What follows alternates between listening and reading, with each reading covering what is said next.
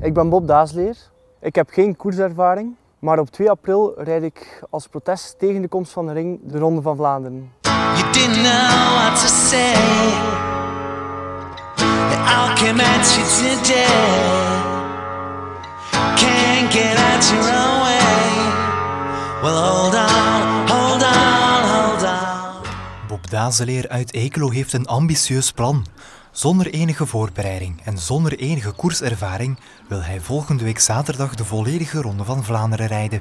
Het kadert eigenlijk in een sponsoractie van het comité Eeklo tegen de ring omdat um, op het moment dat het provinciaal ruimtelijk uitvoeringsplan is goedgekeurd in uh, februari, zaten we eigenlijk te denken um, voor, naar verdere stappen die we konden nemen. Maar die stappen die kosten natuurlijk allemaal eh, geld en steeds meer geld.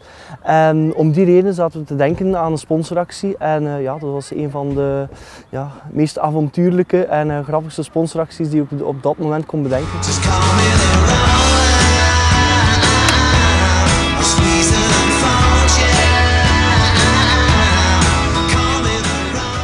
Het is de bedoeling dus dat de mensen ook per kilometer sponsoren. Per 5 cent die ze sponsoren, mogen ze een gokje wagen op de eindtijd als ik de ronde zal uitrijden. Of uh, de kilometer waarop dat ik zal afstappen. En degene die het dichtst bij zit, wint een officieel uh, wielertruitje van de Ronde van Vlaanderen. Er wacht Bob een ware calvarietocht.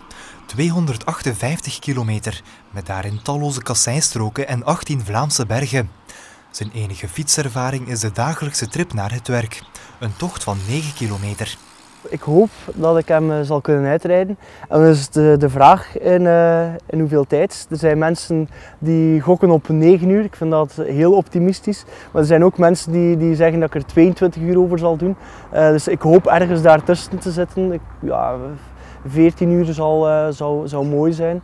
Maar ja, het zal een beetje afhangen van het weer, eventueel pech of valpartijen in het peloton misschien.